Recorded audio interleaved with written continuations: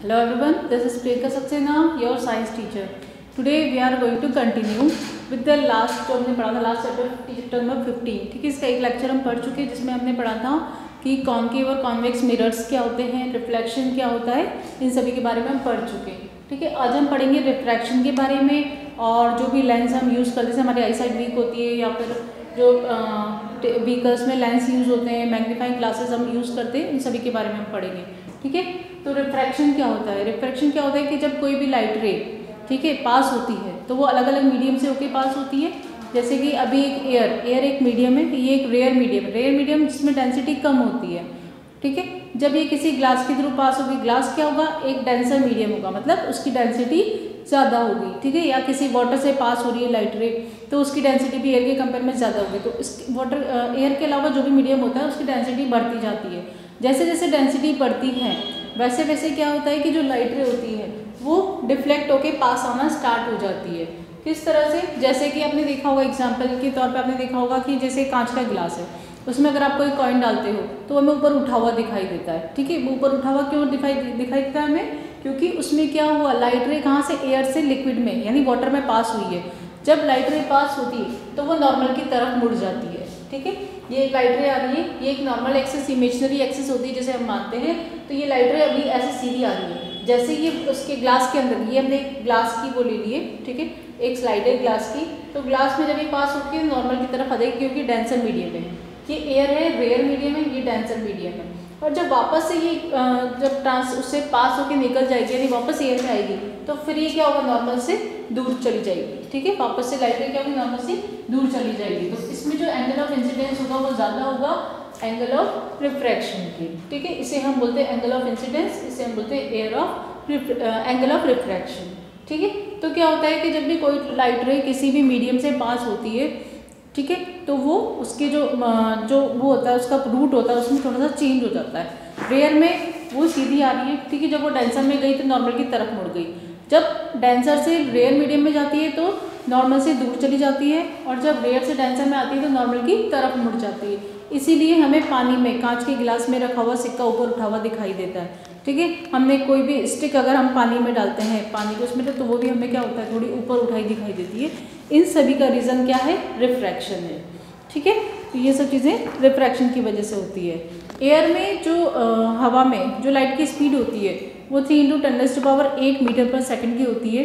ठीक है? जो मैक्सिमम होती है। या वैक्यूम में आप बोल सकते हो। और अगर ये किसी मीडियम में ट्रैवल करती है जैसे कि ग्लास में ग्लास में जो स्पीड होती है इसकी वो कम होकर कितनी हो जाती है? Two into ten power eight metre per second ठीक है? तो इसमें ये चीज़ें होती हैं। लेंस के बारे में हम पढ़ेंगे कि लेंस क्या होते हैं, ठीक है? लेंस हमने पढ़ा, जैसे कि मिरर्स होते हैं, कॉन के मिरर कॉन्वेक्स मिरर दो तरह के मिरर्स हम पढ़ चुके उसी तरह से जब उसमें हमने एक और जोड़, एक और ऐड कर दिया, हमने दो को एक साथ मिला दिया तो वो क्या बन जाता है? वो एक लेंस बन जाता है। कैसे? जैसे कि ये कॉन्वेक्स लेंस है, ठीक है? कॉन्वेक्स लेंस कॉन्वेक्स मिरर क्या होता है? ये एक तरफ़ इसकी सरफेस फ्लैट होती है, एक तरफ़ से थोड़ा उठा हुआ हमें दिखाई देता है। बीच से मोटा होता है साइड से पतला होता है, उसे हम बोलते हैं कॉन्वेक्स मिरर ठीक है? लेकिन अगर हमने इसी में एक और मिरर को ऐड कर दिया, यानी कि अभी दोनों तरफ़ से क्या हो गया? कर्व्ड हो गया, दोनों तरफ़ से कर्व्ड हो गया, बीच में से मोटा हो गया और साइड्स में से, यानी दोनों किनारों पर से पतला हो जाता है तो इसे हम बोलते हैं कॉन्वेक्स लेंस ठीक है? कॉन्वेक्स लेंस में क्या होता है? ये प्रिंसिपल एक्सिस होती है, जो मैंने बताया था, ठीक है? ये लाइट रेस जो पास हो रही है, जब ये इसके यहाँ के बीच में, जब मिड में पहुँचती है तो यहाँ पे जो प्रिंसिपल एक्सिस पे जो मिड पॉइंट होता है लेंस का, उसे हम बोलते हैं ऑप्टिकल सेंटर ठीक है, इसे हम क्या बोलते हैं? ऑप्टिकल सेंटर बोलते हैं। ठीक है, फिर सारी लाइट रे जब पास होके, इससे निकलती है लेंस से पास होके जहाँ पे मिलती है, इस पॉइंट को हम बोलते हैं प्रिंसिपल फोकस ठीक है, ये होता है इसका फोकस पॉइंट जहाँ पे सारी लाइट रे आके मिलती है। इस जगह पे क्या होता है लाइट सबसे ज़्यादा तेज होती है। ठीक है, जो हमें किसी भी चीज़ को जैसे टॉर्च में हम यूज़ करते हैं। ठीक है, किसी भी ऐसी चीज़ में जहाँ पे हमें देखना है क्लियर तो वो चीज़ें हमें इसमें दिखाई देती है। ये होती है प्रिंसिपल एक्सिस और ये ऑप्टिकल सेंटर और फोकस के बीच की जो डिस्टेंस होती है, इसे हम बोलते हैं फोकल लेंथ ठीक है? ऑप्टिकल सेंटर और फोकस के बीच की डिस्टेंस को हम बोलते हैं फोकल लेंथ इसी तरह से ये कॉन्केव लेंस होता है। कॉन्केव लेंस में क्या होता है? ये, इस तरह से आपने देखा कि अंदर की तरफ़ मुड़ी हुई सरफेस बीच से पतला होता है और साइड से ये मोटा होता है। इसमें हमने जब दो लेंस को जब हमने दो मिरर्स को जब हमने ऐड कर दिया, यानी इसकी दोनों सरफेस कैसी हो गई, अब कर्व हो गई, अंदर की तरफ़ मुड़ी हुई हो गई। इसमें क्या होता है कि जब लाइट रे पास होती है इससे तो ये जो ऑप्टिकल सेंटर है ऑप्टिकल सेंटर वाली लाइन है, इससे क्या होता है ये बाहर की तरफ़ निकलती तो ये फैल जाती है, ठीक है?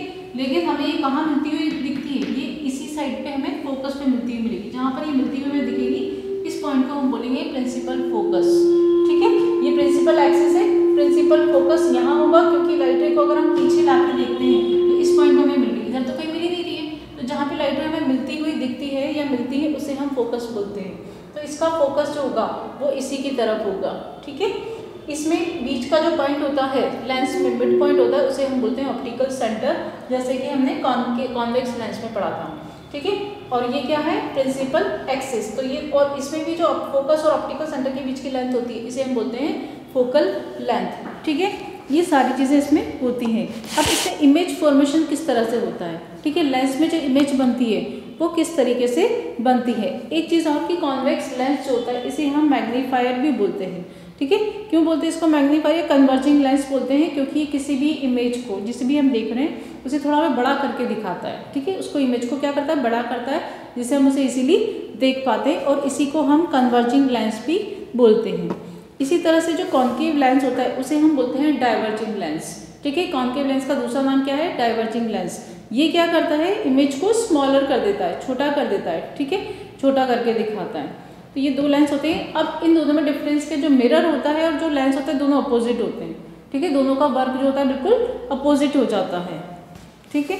अब इमेज फॉर्मेशन किस तरह से होता है? तो इसमें आपको एक टेबल दी हुई है page number two twenty five पर. ठीक है पोजिशन ऑफ़ ऑब्जेक्ट ऑब्जेक्ट की पोजिशन कहाँ होगी? तो उसकी इमेज किस तरह से बनेगी और कहाँ बनेगी? उन सभी के बारे में इसमें बताया हुआ है। तो इसमें देखो फ़र्स्ट है position of object between principal focus and lens ठीक है, ये है कॉन्वेक्स लेंस के बारे में। अगर प्रिंसिपल फोकस और लेंस के बीच में है, यहाँ पर अगर ऑब्जेक्ट है तो इसकी इमेज हमें कहाँ पर मिलेगी? On the same side of the lens where is the object is placed जहाँ ऑब्जेक्ट है, उसी तरफ़ बनेगी इसकी इमेज और कैसी होगी? Magnified virtual and upright magnified मतलब बड़ी होगी वर्चुअल मतलब वो इमेजनरी होगी रियल इमेज नहीं होगी। और कैसी होगी? अपराइट यानी ऊपर की तरफ़ होगी। ठीक है?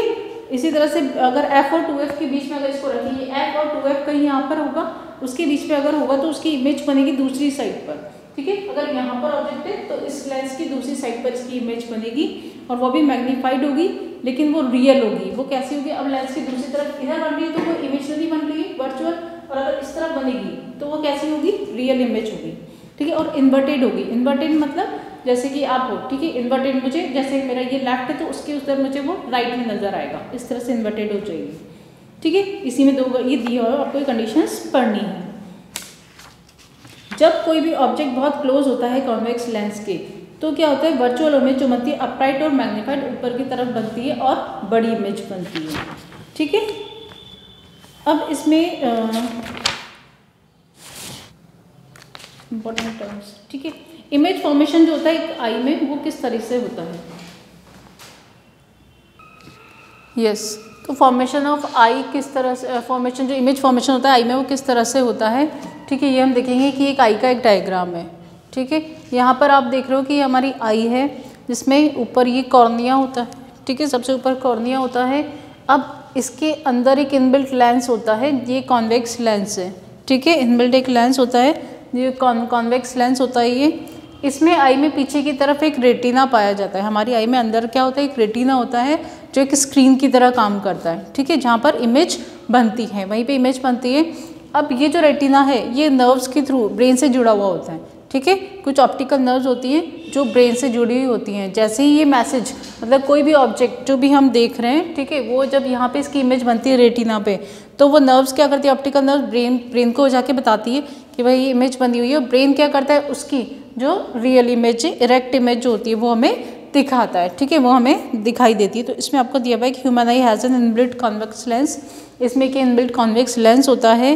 When the rays of light fall on the eye lens it focus a real and inverted image on the retina ठीक है रेटिना पे जो इमेज बनती है वो रियल और इन्वर्टेड होती है। ठीक है which act as a screen retina किस तरह से काम करता है? स्क्रीन की तरह काम करता है। Retina is connected to the optic optic nerve that carry the information to the brain ये किससे कनेक्टेड होता है? रेटिना भी मैंने बताया ऑप्टिक नर्व से कनेक्टेड होती है, जो ब्रेन ब्रेन से कनेक्टेड होती है ऑप्टिक नर्व ठीक है?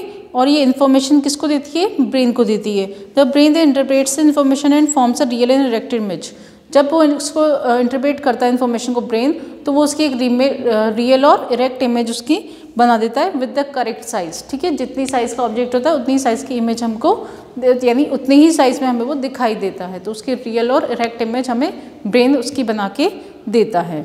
ठीक है, इसी तरह splitting of white light white light किस तरह से स्प्लिट होती है? ठीक है, आपने सुना होगा रेनबो रेनबो सभी ने देखा है कि जब भी बारिश होती है तो उसके बाद हमें रेनबो दिखाई देता है आसमान में, वो क्या है? वो एक मतलब वो क्या है कि वाइट कलर जो होता है, हमारे जो हमें जो सनरेज दिखाई देती है वाइट कलर की होती है, लेकिन जब वो एक मीडियम से पास होती है, अब वो मीडियम क्या है? ड्रॉप ड्रॉप ऑफ़ वाटर ठीक है? जब पानी आता है तो वो उससे जब पास होती है तो वो सेवन कलर्स में चेंज हो जाती है, ठीक है? जैसे कि एक प्रिज्म प्रिज्म क्या होता है? इस तरह से ये प्रिज्म बना हुआ है। जब वाइट लाइट इसमें जाती है, जब इसे टकराती है तो टकराने के बाद ये सेवन कलर्स में डिवाइड हो जाती है। ठीक है? वाइट लाइट इसके अंदर वाइट लाइट कितने कलर से मिलकर बनी है? इसका मतलब ये वाइट लाइट है सेवन कलर से मिलकर बनी है, जिन्हें हम बोलते हैं विबक्योर ठीक है?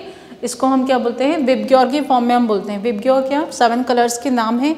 कौन कौन से सेवन कलर में होती है ये? वाइट लाइट जब प्रिज्म से टकराती है तो इस सेवन कलर्स में स्प्लिट हो जाती है। विबक्योर यानी वॉयलेट आई से इंडिगो, बी से ब्लू जी से ग्रीन, वाई से येलो, ओ से ऑरेंज एंड आर से रेड किस सेवन कलर है जिसमें एक वाइट लाइट क्या होती है? स्प्लिट हो जाती है. इसी तरह से रेनबो रेनबो के जो सेवन कलर्स होते हैं, वो भी यही होते हैं, क्योंकि लाइट क्या हुई? एक मीडियम से पास हुई. जब किसी ट्रांसपेरेंट मीडियम से लाइट पास होती है तो वो सेवन कलर्स में स्प्लिट हो जाती है. ठीक है? तो यही फिनोमिना इसका होता है, जिसे हम बोलते हैं विबक्योर बोलते हैं. तो ये चैप्टर यहाँ कंप्लीट होता है. ठीक है, आपको इसकी क्वेश्चन आंसर्स मैं आपको पीडीएफ में सेंड कर दूँगी फिलिप्स और ये सब आपको करने हैं। Thank you